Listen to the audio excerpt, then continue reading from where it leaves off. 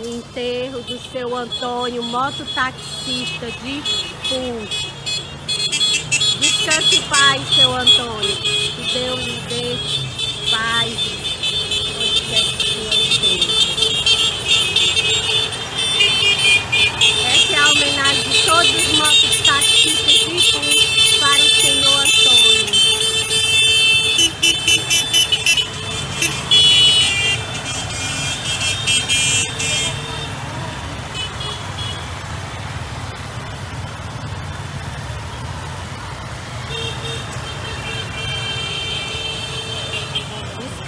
five.